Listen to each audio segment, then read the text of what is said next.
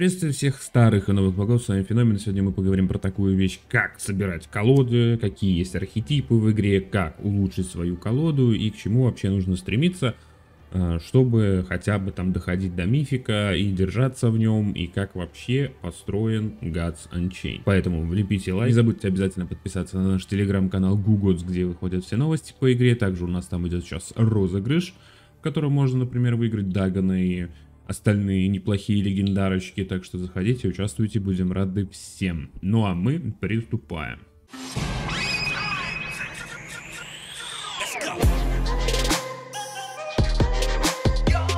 Начнем, пожалуй, с того, что Gods Unchained далеко не новая игра, да, а поэтому Тут все уже давно придумано и все для всех доступно. Если вы там какой-то супер крутой мамкин декбилдер, то скорее всего вашу нет, невероятную колоду уже давно придумали, уже давно потестили и, и поняли, что это херня, ну или наоборот, считают, что это одна из топовых колод. Поэтому далеко ходить никуда не надо, и что придумывать э, тоже не надо. Все доступно в интернете, нетдекинг в любой карточной игре, это основа, и, ну, многие считают это таким, знаете, неким, как прям какой-то опухолью карточных игр, потому что, ну, нетдекинг это плохо. Кто не знает, что такое нетдекинг, когда ты, типа, берешь карту какого-нибудь другого игрока, и играешь на ней. Смотришь, кто там взял 17 э, побед, и ты ее просто берешь, играешь на ней, у тебя ничего не получается, ну или наоборот получается, и это типа это в пределах нормы. Нет такого, что ух, копировать колоды это плохо, и нетдекинг это плохо. Хотя многие придерживаются такому понятию и не берут какие-то колоды стопа, играют там в игру по 10 лет, но при этом не могут там взять какой-то ранг э, типа мифика или легенды, потому что думают, что они самые умные, и то, что до них там а, какие-то карты никто не тестил, и вот я такой гениальный, но почему-то я все равно проигрываю. Поэтому, чтобы этого не было, идем нетдекать, это самый проверенный способ, потому что большинство карт уже проверены, которые из них работают, какие из них не работают.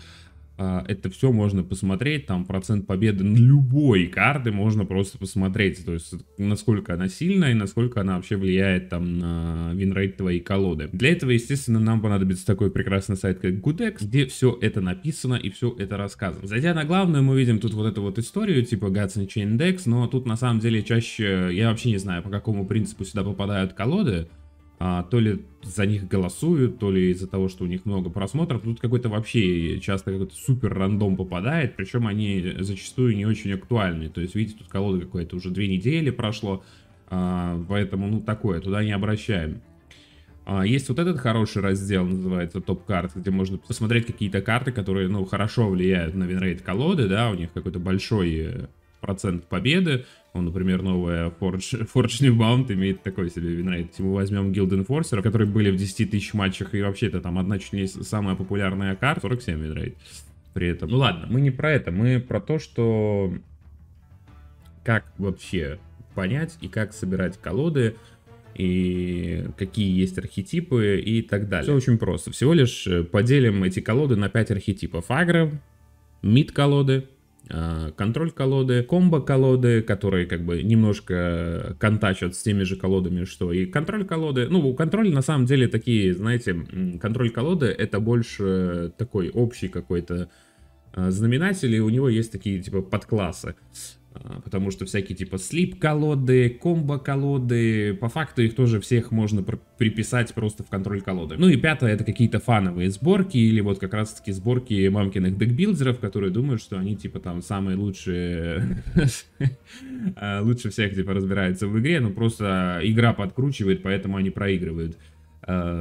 Спешу вас огорчить, это не так, э, вы просто не шарите за мету. Вот и все. То есть есть база и костяк карт, которые играют в мете, есть база карт, которые не играют в мете, какие бы они сильные ни казались и какие бы сильные они бы не были. Карточная вот эта вот структура, она слишком тонкая и, ну, какие-то карты, которые на первый взгляд кажутся очень типа сильными, на большой дистанции показывают себя слабее там каких-нибудь двух э, средних карт. Поэтому это все выясняется только благодаря статистике. Конечно, есть какие-то индивидуальные вещи, которые вот тебе кажется, ты взял эту карту, и она хорошо показывает, и потом она действительно появляется в каких-то топ-деках. Да, не без этого. Есть какие-то люди, которые находят именно картонки, которые вот сейчас под эту мету хорошо заходят, хотя это какие-то могут быть старые забытые карты, им находится какое-то применение, поэтому какие-то старые картонки все равно есть в цене, и они или наоборот, там находят какую-то карту, она синергировала с какой-то новой картой, например, вот там в Light Verdict что-то добавили, а, за счет этого заиграли какие-то еще старые карты. То есть, ну, за этим всем нужно просто следить. Поэтому ничего удивительного. Агро, естественно, архетипы на чем строятся? Ну, тут вроде бы, вроде бы по словам все понятно, но всегда все все равно... Каждый по-разному это все называет, на самом деле. Ну, агро-колоды, понятно, они построены так, чтобы быстрее ломать как-то лицо оппоненту. Это всякие дешевые существа, которых ты можешь дешево поставить, плюс недорогие забафы этих существ. То есть, вот если мы там просто возьмем какого-нибудь агровара, это такой достойный пример, да, то есть много единичек, если мы посмотрим на кривую, там всего две, две пятерки, две шестерки, хотя и то это для агроколоды достаточно много, но это такая себе на самом деле сборка, честно говоря. Хотя вроде 57% винрейта за 10 баксов, это вполне себе. А, то есть зачастую, ну, мана кривая заканчивается, да, вот это вот монокурва, так, так называемая, заканчивается уже к пятой мане, то есть шестые дропы это уже тяжеловато для агроколоды. Все идет в упор именно в эту сторону, да, то есть больше единичек, больше двоечек, троечек, там четверок, и уже дальше там поменьше, поменьше, поменьше. Хотя, ну здесь, точнее, пятерок насували знатно. Типа целых пять пятерок, это очень много на самом деле. Ну, прям перебор. Нафига ему тут вот эта карта, то есть тоже непонятно. Ну ладно, это все не важно. То есть агрессивная колода настроена на то, чтобы быстро ломать лицо. Чтобы быстро ломать лицо, вам нужно играть дешевые карты. Дешевые карты не в плане цены, а в плане их моностоимости. Ну и, конечно, эффективности. Ты можешь набрать каких-нибудь там, не знаю, Э, какой-нибудь трэш, который по статам типа 1-1, но нужно балансировать это, да, то есть карта должна быть там за одну ману, но при этом она должна иметь какой-то эффект, у нее может быть хорошие статы, как, например, в Колкин Валькирия, вроде за одну ману, но при этом у нее 1-3 статы, когда она там получает урон, она дает плюс один к атаке, то себе, то рандомному существу на столе, ну, твоему рандомному. Тут еще и карнаж свайп в агроколоде. Ну, короче, такая себе спорка не лучший пример, но э, просто чтобы вы понимали. А, дальше же есть, например, какая-нибудь мид-колода. А, чем она отличается? Отличается она тем, что она более построена как бы по нарастающей, и в ней больше присутствует именно троек и четверок. Хотя, ну, по природе это не скажешь, потому что в основном, ну, в целом, мид-колода строится так, чтобы вы играли статами. То есть, чем больше статов, на определенной мане ты можешь сыграть, тем лучше. Поэтому, да, мы видим там на первые дропы это всякие 1-4, 1-3, второй дроп это 3-3, всегда база просто там на третий ход мы можем поставить 4-4, если все сошлось, ну и 3-4 на третий ход тоже будет неплохо.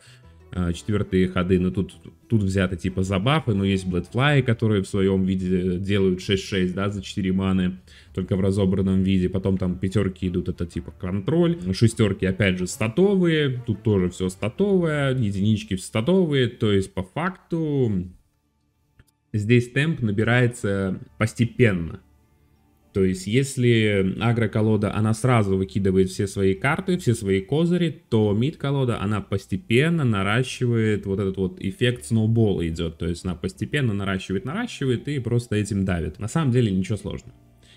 Ну, самый сложный архетип это контроль колоды, потому что, ну, они как правило, работают наоборот. У них нет каких-то дешевых существ. Ну, они присутствуют, но это тоже какие-то опциональные. То есть, например, здесь спелбуст э, взят. То есть, это увеличение магического урона. Как правило, у них много каких-то заклинаний, чтобы сдерживать и раскрывать свой, весь свой потенциал более в поздней стадии игры. Там с ними не можешь никак соревноваться, потому что куча каких-то заклинаний, которые чистят весь твой стол, куча какого-то контроля, который убирает твоих существ. Ну, опять же, это то есть какие-то точечные заклинания, плюс большие статовые существа, с которыми какая-нибудь агра не может справиться. Но, естественно, конечно, есть какая-то проблема у этих колод, что им нужно доживать, и поэтому агро-колоды какие-то успевают сломать там какие-то контрольные колоды. Но это если мы там, в пример, какого-нибудь мага берем. Если агро-природа, она выстреливает на первых манах, э, мид природа, она как раз-таки постепенно наращивает темп, то маг очень медленно, но уверенно разгоняется и потом выстреливает именно в конце игры. Э, ну, не маг, а именно контроль колоды. То есть они постепенно контролят, контролят, контролят, и потом в какой-то там, какой-то там седьмой, если это какой-нибудь контроль десепт, у него ключевая мана это седьмая, когда выходят вичи, чаще всего игра переворачивается, и ты выигрываешь. Если там какой-то контрольный маг, то он чуть быстрее, наверное, даже может себя реализовать, потому что у него есть там разгоны по мане и так далее. Этим и отличаются архетипы. Какой выбирать вам архетип? Ну, тут э, один совет. Берешь колоду, играешь 30 игр и смотришь, нравится оно тебе или не нравится. Эм, но нужно понимать, 30 игр, ну, это так, условно. На самом деле лучше играть больше. Э, просто есть люди, которые играют две игры, такие, ну, типа, сыграли, колода там сыграла типа 0-2, значит фигня какая-то. Но на самом деле это вообще не показатель, потому что ты мог поймать какой-то просто не заход, ты мог поймать просто какой-то неудачный день, где тебе там, ну, бывают такие дни, когда ничего вообще не заходит, вообще никак не работает, возьми ты хоть какую колоду, там, хоть за два эфира, и все равно будешь сосать. Uh, такое бывает, и это нормально. Другое дело, когда ты играешь там 50 игр, да, и ты видишь, что ну, может быть, не твой стиль игры, а, может быть, ты больше любишь там вот как раз-таки на контроле играть, а не на агро, потому что, ну, не понимаешь, как, как держать темп, как там правильно, когда размениваться, когда идти в лицо, а, всякие контрольные колоды, наоборот, тебе позволяют, типа, ну, у них больше ресурсов по контролю стола, соответственно, они могут себе позволить там где-то получить какой-то урон в лицо, то есть они не так сильно борются за стол, потому что они могут его, у них больше карт геймбрейка, да, то есть которые пере, могут переломить исход игры, а какая-нибудь агро-колода, она просто вот давит-давит сначала, но если ее переконтрили, ей сложно вернуться обратно в игру. Контроль колоды достаточно другая история. Если их там вначале контрили-контрили, они под лейт могут все равно 200 раз перевернуть игру и все равно ее выиграть. Все матчапы не разобрать, понятное дело, то есть бывают разные ситуации, а, но нужно определиться, нужно определиться, то есть на ком вы хотите играть, то есть может быть, ты хочешь постепенно набирать темп, да, тогда тебе нужна какая-то медовая колода. Или ты любишь именно в контроль поиграть, все равно там на время АК, тогда ты хочешь именно как-то там что-то подумать, что-то поделать. Хотя агроколода часто тоже заставляет тебя думать, потому что на ранних стадиях где-то там не разменялся, тебе с полом забрали существо, все, ты не можешь обратно перевернуть игру, потому что у тебя банально нет таких опций. У тебя есть опции просто существа, которые идут в лицо. Все, все твои опции ну и какие-то забавы. Контрольные же колоды позволяют там как-то в слип кинуть, да, если ты на каком-то слип десепе играешь или на слип смерти, и еще что-то придумать, или там на зомбях каких-нибудь, э, там переспамить, успеть стол. Эм, ну, это не то, что контрольная колода, но я не знаю, зомби, наверное, ее можно медовой больше назвать, потому что в ней много всяких там типа шестерок, пятерок. Ну да, если мы посмотрим, например, зомби-колоду, то она, наверное, более... Ну, хотя она тоже такая вот типа полу-агро, но при этом уходит в лейт, то есть есть парочку лейтовых карт, которые могут закрепить или или даже, ну, если они придут, то они сильно там тебе не повлияют на игру, потому что их не так много, но все равно будет приятно, если игра затянется, и у тебя будут какие-то опции. То есть зомби-колоды тоже, на самом деле, какие-то такие, знаете, это не совсем агро, это какой-то... Ну, то есть это достаточно тонкая грань понимания агро и мид-колод, и контроль-колод. Ну, понятно, что это ни хрена не контроль-колод. Здесь есть вот эти лучи, здесь есть какой-то виталити под лейт, то есть, ну, тоже почти уже контроль-колода. Поэтому, поэтому, ну, такое. Или, может быть, ты хочешь играть на комбо-колодах. Ну, тут тоже комбо-колоды достаточно... Именно эффективные комбо-колоды, они достаточно все дорогие. Когда ты дойдешь до какой-то комбо-колоды, скорее всего, ты уже поймешь, что есть оно тебе надо или не надо, и а, на чем играть и так далее. Наша же база, когда мы начинаем играть, скорее всего, это какие-то агро-колоды, какие-то медовые сборки. Это вот то, что мы любим, потому что чаще всего они самые такие, ну, дружелюбные для бюджетных вариантов. А вот всякие контрольные колоды, они чуть менее... Хотя иногда бывают наоборот. Хорошему, конечно, нужно поиграть на всех архетипах и просто понять, что вот это мне нравится, это не нравится. Потому что, ну, меня тоже часто спрашивают, то есть там на стримах какие-нибудь, типа, блин, вот а, есть там 30 баксов, что лучше собрать? Собрать там какого-нибудь, какую-нибудь зомби-колоду или агро-природу? Но проблема в том, что ты можешь собрать агроприроду, и, и она тебе просто не понравится, потому что там много существ с конфьюзом, да, то есть ты плохо контролируешь вот этот вот еще микрорандом э, в виде существ, которые и так, ну, которые не туда могут походить. Зомби же колода, она более стабильная, там нет вот этого рандома, э, поэтому ну, такое. С другой стороны, опять же, тебе могут не понравиться зомби-колода, потому что, ну, просто ты не любишь нежить, или, я не знаю, ну, по- по-разному может быть. Все достаточно индивидуально, и нужно просто брать и играть, вот, что есть, на том и играешь. И потом это как-то улучшаешь, и, и просто уже решаешь для себя, оно тебе вообще надо, или, по-моему, это какая-то фигня. Просто многие думают, что вот ты возьмешь какую-то колоду, того же топа, и все, ты сам будешь в топе, и все это будет у тебя работать. На самом деле не так просто. Неплохой пример это можно взять с какого-нибудь Хардстоуна, где были какие-то топ-колоды, но на них умели играть только вот те игроки, которые создали эти колоды. Когда их брали какие-нибудь люди а, ну, там, самый яркий пример, это колоды, например, такого про игрока в Хардстоуне, там, бывшего, да, Калента. А, все всегда орали, типа, вот беру колоду Калента и нифига не могу на ней вообще играть, всегда проигрываю. Но при этом Калента, который там типа, топ-1 мира, всякие турниры брал и так далее, и только он понимал, как на этих колодах играть.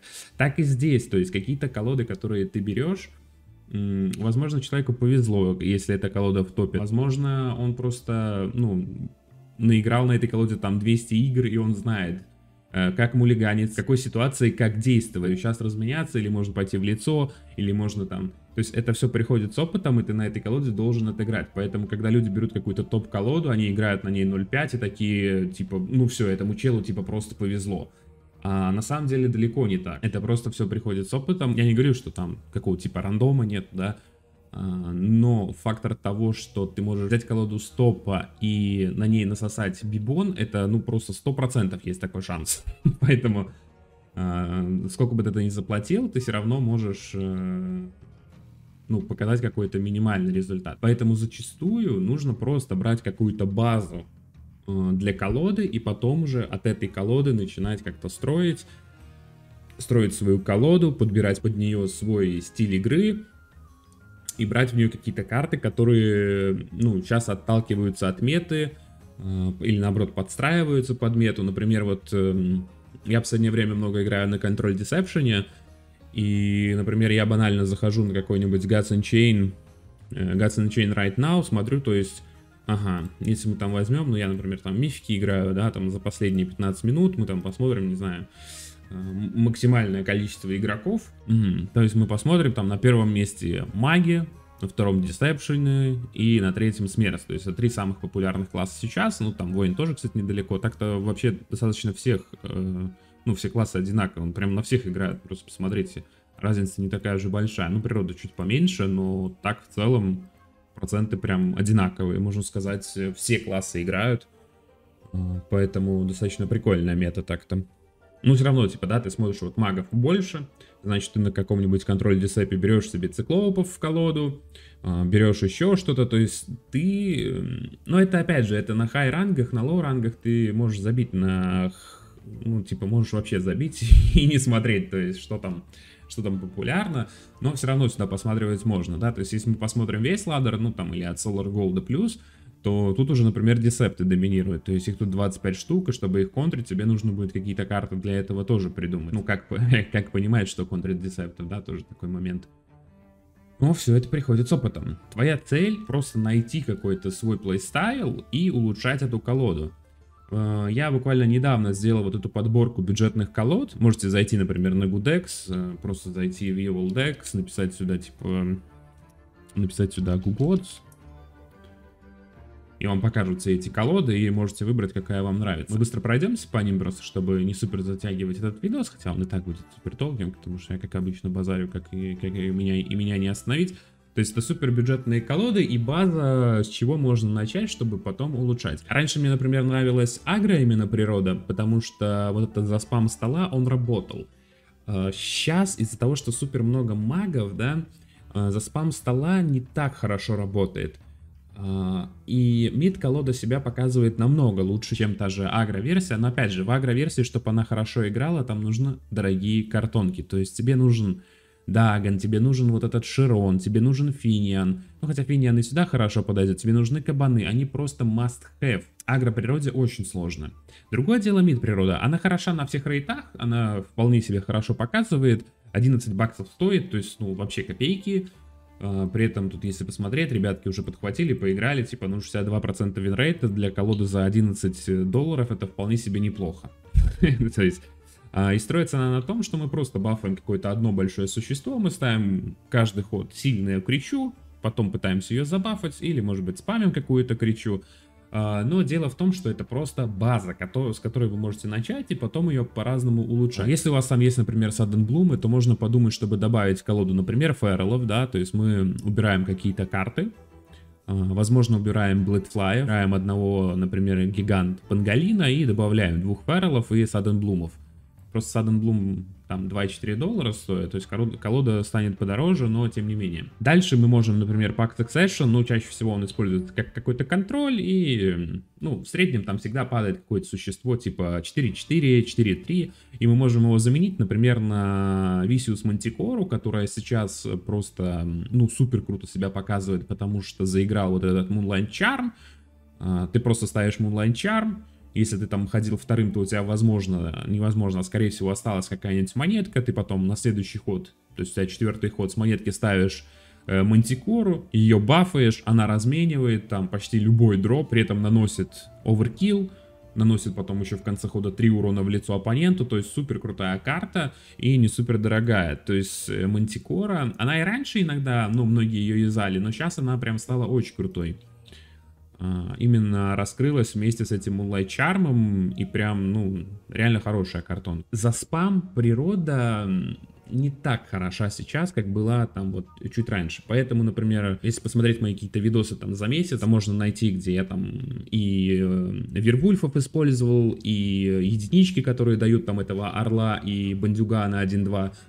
Сейчас это все не работает. Нужно просто играть в мид природу, и она будет вполне себе стабильной и хорошо себя показывать. То есть мы обыгрываем какие-то лейтовые штуки и ставим просто одно большое существо, а не много маленьких, которые можно обыграть. А, то есть ты там сыграл, например, Bloodfly, аг Агродесеп тебе сыграл бомбу, и все, у тебя полный стол, и ты ничего больше сыграть не можешь, у тебя остались какие-то всратые вот эти вот э, стрекозы 2-2, которые по факту ни хрена не делают, у чела стоят существа в маскировке, и, и типа, и как его достать? Ну, типа никак. Он потом играет какую-нибудь стрелу, которая берет од одного Блэдфлая в контроле и трейдит его в другого, а ты ход просто пропустил, потому что не было места, куда сыграть существ. Поэтому вот эта вот спам природка, она, ну, так себе, так себе сейчас. И профитнее играть просто на мид сборке, которая вот ставит одну такое, знаете, мужицкое существо и как бы этим выигрывает. Ну, это что на примере природы. Ну, я, наверное, не буду прям все классы разбирать. Ну, просто быстро посмотрим. То есть, по большому счету, это одни и те же примеры, да. А, что мы видим здесь? Здесь колода на самом деле такая своеобразная, это агродесепт, опять же, а, но имеет несколько интересных картонок по типу а, Onyx Nightblade, которых ты редко увидишь, но у агродесепта есть некие проблемы, там, например, с природой, и Onyx это отличная контра всяким типа Опять же, этого pickpocket а ты можешь его через Оникса убить, если он играет каких-нибудь Marsh Walker ов, beetle ов, и, ну, много всего он может сыграть, что ты можешь просто убить на халяву за счет Onyx а Nightblade а. Плюс у Оникса 2 HP. 2 HP это вкуснятина для Ассасина Аима, то есть ты можешь сыграть на него и получить как бы 4 4-1 существо маскировки, которое пойдет в лицо, и все в таком роде. Но потом, естественно, от них нужно отказываться, и, э, и вот эти вот опциональные карты потом нужно выкидывать и брать что-нибудь э, более рабочее, то есть мы можем взять какого-нибудь лутера, мы можем взять какой-нибудь, что тут еще есть, там, мадам, например, если она выпала, кстати, она сейчас стоит вообще 3 доллара, хотя стоила, по-моему, 14 или типа того, очень стала дешевой. Но опять же, если мы тут посмотрим, да, у нас тут э, первым делом предлагается фрументрали, это добор но если у нас их нету, да, то есть мы берем просто опцию этой карты, э, она дает нам добор. Как это исправить, да, у нас есть, например, Shakedown, тоже карта, которая стоит там 0,3 цента, но она делает то же самое. То есть она может там нам две карты добрать.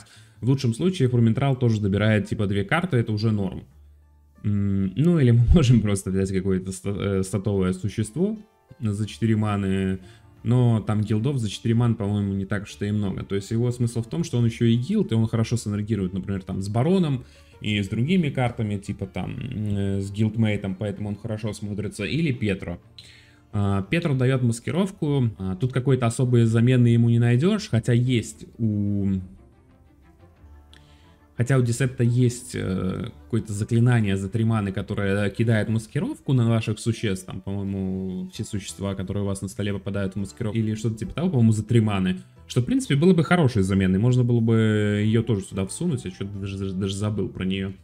Но у нас тут Локиан. Вроде бы тоже Хайден, причем Локи он не супер дорогой, а за 1 доллар, хотя его можно каким-нибудь файрелом заменить, например, тоже вполне есть там на Локиана нету бабок. То есть мы берем вот этих вот, э, вот эти вот карты, которые якобы играют, да, в топ-колодах, э, мы берем какую-то ее опцию. Ну и то есть, если мы посмотрим там какие-нибудь Shadow Walker, они супер крутые, их можно там заменить, например, э, убрать там баронов, добавить этих Shadow Walker'ов. Но опять же, бароны круто бафуются от гилдов, но его прикол в том, что ты его поставил, и вот тебе ничего играть не надо. Ты можешь другие карты играть, а он каждый ход будет получать плюс один к атаке, плюс один к атаке, плюс один к атаке, плюс у него 3 хп, и его достаточно сложно достать, ну хотя все равно, да, то есть маг может чем-то его убить, еще что кто-то там э, может его достать, какая-нибудь канопа там залетит, еще что-нибудь, но он такой достаточно уязвимый, и не, и не, сказать, что прям, ну, must have. Но все равно, из-за того, что у него 3 хп, то есть ты его играешь, ты можешь сыграть на него АИМ, не так много существ есть в Хайдене, которые, ну, имеют такие статы и имеют еще какие-то дополнительные эффекты. На самом деле есть затриманы райдеры 4.2, которые в маскировке, есть еще там какой-то паукан, который за, по-моему, 2 или за триманы 3.2 в маскировке. То есть они есть, но они какие-то... Эм, какие-то не супер профитные, что ли. То есть они как бы must have, но можно играть и без них. То есть эти все дорогущие картонки, они не так много прям дают. Вот я играл, например, на Агродесепте, сижу играю на Агродесепте, у которого 50% винрейта, но при этом у меня тут все, короче, карты золотые, какие-то Shadow, да, какие-то Diamond картонки, но я просто играю вот на такой сборке, просто потому что, а, хотя тут написано 12 баксов она стоит, но на самом деле она не 12 стоит, а там чуть-чуть подороже получается, потому что этот у меня Golden, этот у меня Diamond, ну, да, короче, не факт. я играю вообще вот на такой сборке просто для того, чтобы фармить дейлики. А нахрена нам еще что-то делать? Я сижу с этим winrate ом в 50, нам не нужен какой-то заоблачный winrate. Нам хватает и того, что у колоды есть там 50 плюс winrate а и все. То есть мы будем сидеть на одном ранге, ни, ни вверх, ни вниз, будем сидеть и кайфовать. Но при этом фармить дейлики, которые, ну, у меня в среднем там получается 3,5 где-то GODS а, там может быть 3-4, что-то такое. И при этом я 3 ивента или сколько уже сижу в mythic е, то есть играю вот на этой колоде или играю на... Или играю на контроль десепте. То есть на такой сборке вот. Но это такая моя мейн колода, которую я постоянно подстраиваю под, э, под мету, да, то есть видите тут циклопы, потому что магов много, но на самом деле очень крутая карта, то есть я постоянно подстраиваюсь под мету. У меня тут и Changing Locks, э, потому что Order Паладина бывают, и ты можешь при, ну, приятно разлочить какую-то карту, которая в ордере у тебя стоит. А, то есть все в этом духе. То есть две мои такие мейн колоды, если мне впадлу играть, я сажу, сажусь на агродесепты и просто пушу и делаю там в среднем 6-4 или там 5-5 и вообще плевать, да, то есть э, то, что ты там сделаешь, э, не знаю, 7-3 и получишь на 0-3 годца больше, ну особого как смысла не играет. Поэтому на каких-нибудь лоу-рейтах, да, там нужно прям бороться за каждую копейку, поэтому, поэтому как-то так. Ну, даже видите, типа, ивент я отыграл на 9 побед, хотя мог на самом деле сделать и 10. Если подытожить, как собрать колоду и как понять, что вам вообще нужно в этой колоде. Берете базу какой-нибудь колоды, например, там, контроль мага берем, кстати, неплохой winrate получился у этой колоды, типа 78 игр и 73 winrate, прям, прям норм deck а получилось. А, смотрим, да, у нас нет шейп бластов. Это единственное, что нужно добавить в эту колоду. То есть мы убираем Crystal Rain и добавляем шейп бласты, и все, пушка полетела, гонка. А, с другой стороны, зачем тут э, конжуры, да? Потому что Crystal Rain да, с конжурами можно скомбинить и типа на 3 урона нанести по АОЕ, ну или там остальные какие-то АОЕ заклинания, типа трекинг болта и, и так далее.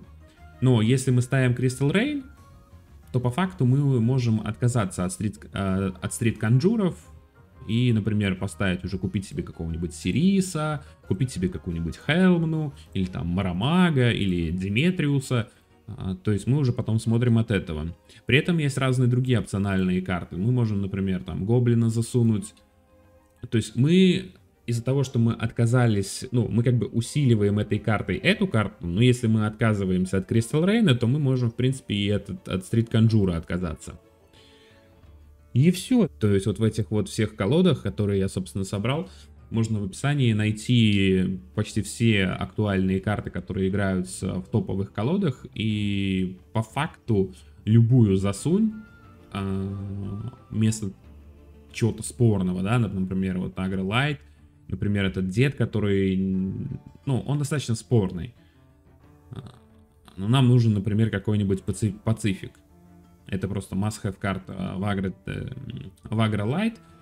И мы просто убираем там какого-нибудь вот ветерана, засовываем этого Пацифика, смотрим еще что-то, убираем, может быть там одного кабана, и тоже засовываем и играем. Ну, ты берешь какую-то базу и заменяешь одни карты, ну, почти такими же, только чуть сильнее. Есть, например, Чайников The который, ну, сейчас как-то там чуть лучше начал играть, но по факту можно взять тот же Protective, вот этот Бенедикт, который стоит 20 центов, и, ну, хуже от этого колода не станет, она все равно будет нормально играть. А, потому что все эти вот э, типа серны, которые там по 25 баксов стоят, это одна карта, которая на самом деле, да, она будет сильно влиять во многих матчапах, но ее можно заменить. То есть дает ордер, ты берешь что-то одно, смотришь, да, вот она типа хилит и дает карту. Ты можешь взять херню за одну ману, которая тоже типа, типа ты можешь взять вот эту херню за одну ману, которая хилит на три твоих друзей и при этом берет карту. Да, она не будет э, кидать твое ну, существо оппонента в ордер. Да, она не будет ставить 2-5 кричу. Но это хоть что-то, да? То есть э, это почти похожие механики. И ты вот так, когда смотришь на какую-то дорогую колоду, ты просто берешь какую-то часть механики этой карты. Или берешь ее просто статы, например. Э, ну, или ну, зачастую вот эти вот хорошие карты, у которых много каких-то эффектов, они страдают по, стат по статам, потому что иначе это было бы имба. И ты просто берешь какое-то статовое существо вместо этой карты. Она может стоить там вообще копейки, э, но при этом просто тащить статами или своим эффектом. Все, ничего суперсложного, ничего придумывать вообще не надо. У тебя все доступно. Ты заходишь э, просто на э, GoodDex, нажимаешь Veval Deck. Нет, подожди, не туда. Заходишь сюда в Good Win Rate просто и смотришь, о, Card Draw маги. Угу. Трахают все на свете. 56 и 9 Rate, но это какой-то общий, но если мы посмотрим там последнюю колоду Fake Muse, который там сделал, как раз таки, по-моему, на последнем ивенте он 17 побед на нем сделал, но нужно понимать, вот, например, карт Дроу колода, это уже такая полукомбо колода, и собрать ее без ключевых карт будет достаточно сложно. Ты не можешь ее просто взять, скопировать, э, тебе нужны будут вот эти вот дорогущие карты, то есть текст 27 баксов, там какие-нибудь даже эти скрайеры по 4,5 баксов. Ты можешь их заменить, но у некоторых карт просто нет альтернатив. Они есть, они дороже, ну, например, там какой-нибудь anti можно заменить, эм, не помню, это Fox, по-моему, называется карта, которая там что похожее делает, типа, выбери один урон, два урона, и там, по-моему, протект твоей карте дать, что-то такое. Она как бы вроде и норм, но на самом деле текст лучше. И при этом там стоит, по-моему, 3 маны, здесь одну ману. Но это поломанные карты, по-моему, Генезис. Или, а, нет, это не Генезис. Ну, короче, чаще всего это какие-то старые, старых сетов карты, которые были прям, ну, overpower. Поэтому от таких вот типа комбо-колод ты должен уходить не к чему-то...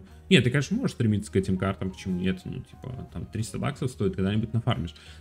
А, тебе нужно стремиться к чему-то такому, знаете, типа, вот, к чему-то родному, вот. Начинать с чего-то такого. Вроде бы ты смотришь, да, вот топовые колоды, ну вот winrate 48. Но если ты его откроешь и посмотришь, да, то есть тут чуваки есть.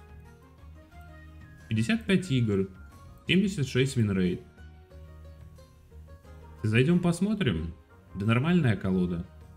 Тут даже какие-то вот Asterius ы. Если ее убрать, убрать вот, э, посмотрим на этого бюджетного мага, по факту похоже. То есть, э, ну и плюс нужно следить за метой. Вот, например, флеймы, которые я в свое время форсил, и все говорили, что я идиот, что эта карта вообще типа useless. Э, я говорил, что это прям имба полом. Сейчас во в каждой колоде, кстати, играет. Ну, как обычно. С добавлением кристалл шкаляра, да, соответственно, флейм может себя очень круто показывать. Ты быстро можешь просто наносить дожив до лейта, там эти 16 урона с пустого стола, это слишком сильно, чтобы это не использовать. А, поэтому нужно следить за метой, да, то есть она не сильно меняется, но какие-то картонки появляются. Вот, например, маги начали эти, как я их называю, розочки носить, да, и сейчас, ну, стоит ее использовать. Поэтому, например, в этой деке она тоже есть, хотя эта карта, но стоит, ну, сейчас она подорожала, то есть какое-то время она вообще там копейки стоила, типа, по-моему, центов 15. А сейчас из-за того, что она во всех колодах стала чуть дороже. То есть я думаю, вам станет чуть, чуть понятнее э, с тем, с чего как бы начать и как вообще э, что собирать. То есть не гонитесь за вот этим топом. Скорее всего, это, ну, супер какие-то дорогие колоды. А, намного стабильнее можно собрать какого-нибудь, вот как я играю на контроль Deception. Вроде бы, да, тут и написано, типа 50% винрейта. А, но при этом вот колода за 70 баксов, которая, которая имеет там 73% винрейта, и нормально чел на ней шпилит, и, и она типа стабильная. Ну, еще один такой момент, где можно посмотреть и понять, понять, так сказать, э, стабильность колоды, это, конечно, посмотреть матчапы. Вот такой заходишь в матчапы и смотришь, ага, где мы там. Можем посмотреть какой-нибудь агродесепт, который опять повылезал, опа, против топовой колоды, да, которая, которую мы видели там, опа, агродесепшн. То есть нужно еще понимать такой момент, что кто кого контрит. Мы видим кардроу. Такие, ну, бабок у меня на кардроу нету. как мне его законтрить? А, ты заходишь в матчапы и смотришь. Вот, кардроу маг. Кем плохой winrate? С aggro магом. На aggro мага тоже, наверное, бабок не хватит. Смотрим дальше. Опачки. Aggro Deception. Но если мы посмотрим, да, Aggro Deception, тут как бы, ну, ну как бы да, 52%, это как бы неплохо из общего. Смотрим на ценники, опа, Aggro Deception за 10 баксов. Наш выбор. Ну нет, на самом деле это какая-то бредовая колода. Типа тут, ну это вообще, конечно, что за, что, что за поворот. Ну где-то неплохой агродесепшн уже может быть собран.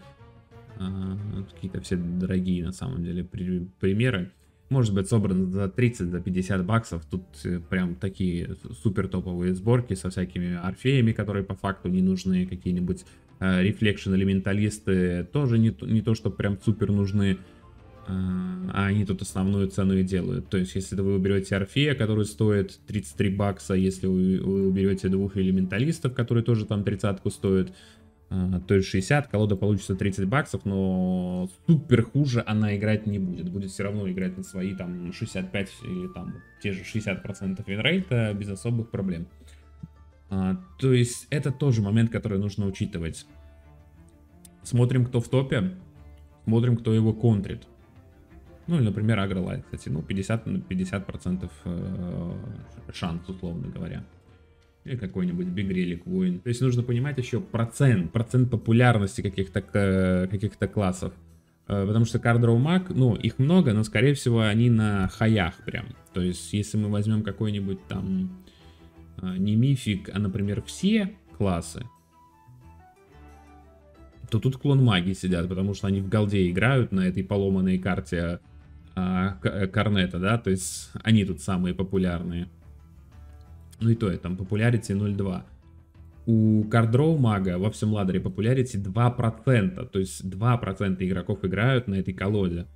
Если мы посмотрим, у Агролайта 6%. То есть вот он, наверное, самый популярный, хотя вот 7.2 это, это зомби-смерть, у нее 7.2, 10%. Это Агро-Войн. Что еще тут есть? 7% это кто? Это Мидрендж природа. То есть, если мы посмотрим во всем ладере, да, самые популярные классы это midrange природа, а, какой-то контроль маг 9,7, агро природа, тоже там 6,3, а, агро воин 10,6, агро свет 6,3, ну и все. То есть на нашем ранге могут быть, например, э, мы можем попасть в какой-то костяк, где нам будут просто супер много игроков попадаться, например, на контроль nature. 8%, ладно. Но это какой-то обман, нету так много контроля природы э, в природе. Ну, потому что Гудекс немного там, конечно, тупить с этими названиями, там типа одну карту какую-то лайтовую добавили, все, это уже контроль колода. На самом деле не так. Не всегда нужно гнаться именно за тем, что сейчас в топе, потому что, ну, вы как бы сами, скорее всего, не в топе, да, и вроде бы, да, кардроу, вроде бы и популярный 6.3, но это на мифике. А если мы везде посмотрим, то кардров 2%. Агровоин самый популярный. Значит, нам нужно смотреть колоду, которая хороша против агровоина. Вот. А агровоин у нас проигрывает кому? Амазонкам. Реген природе. Order Deception там чуть-чуть э, проседает. Ну, тут тоже можно посмотреть. Клон магии, понятно. Амазонки. Агролайт, да. То есть вот с агролайтом у него проблемы. А, может быть, э, мы тогда садимся на агролайта, если воинов много, и играем на нем. Но если много агролайтов, то мы смотрим, кто против них хорош. Ага, реген, это реген nature, угу, поняли, order, order deception, то есть на контрольный десепт. Э, с агроприродой там 50 на 50 можно посражаться, с агродесептом тоже не очень так-то дружит. Вот эти основные вещи. Нашел свой класс, нашел свой стиль игры, то есть агро, контроль колода, там мид колода, какая-то комбо колода. Потом чекаешь, что сейчас в мете, то есть кто сейчас в ладере. Потом смотришь, что вообще происходит во всей мете, то есть по популярности, да, то есть вот воинов до хрена. Значит, и воины будут тебе чаще попадаться. Значит, собираешь какие-то карты, которые могут э, помочь поконтрить этого воина. Или наоборот, собираешь колоду, которая, ну, типа, против воина неплохо играет. Например, ну, какой-нибудь контроль маг против него неплохо играет, хотя не знаю. Ну нет, тут так, 50 на 50. То маг неплохо против десептов играет. То есть там 60% winrate, а десептов, если мы там посмотрим, опа, их тут много на соляре. Значит, тут сейчас, сейчас десепты. Значит, мы такие, оп, подумали, взяли контроль мага и идем нагибать соляру. А, то есть, ну как-то так. На самом деле это не так сложно проанализировать и понять, что тебе нужно для того, чтобы выигрывать. Ну понятно, что все, что тебе нужно, это бабки. Uh, это бабки, чтобы собрать хотя бы базу каких-то колод и потом их улучшать, менять под мету, смотреть мету. А выиграть картонки ты всегда сможешь у нас в паблике Google Заходи, подписывайся, выигрывай э, карты, смотри какую-то аналитику. Ладно, на этом все, ребят, подписывайтесь на канал, всем удачи, всем пока, надеюсь, вам станет чуть более понятно, как собирать колоды, как это все, все устроено, как там чекать мету и так далее. Все, всем удачи, всем пока.